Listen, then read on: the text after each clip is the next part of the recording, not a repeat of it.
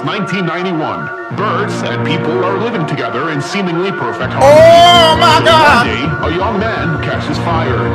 This is Phoenix.